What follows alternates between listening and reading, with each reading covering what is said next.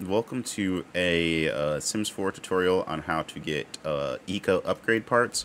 So if you want to get the eco upgrade parts, all you got to do is get this Storr-No-More home fabricator from the build menu and uh, get your sim up to a high enough level to where uh, it doesn't necessarily matter because the more the higher level in the eco uh, level that they are or the handyman level the more things that they see here because as you see if I click on it fabricated eco upgrade part, but the higher level you are, the more upgrade parts, the more things that you will see in here. So like I said, just uh, increase your handiness and you'll see that. So if, yeah, if you have any more questions, make sure to put them down below. But other than that, this has been a Sims 4 tutorial on how to get eco upgrade parts. Have a wonderful day.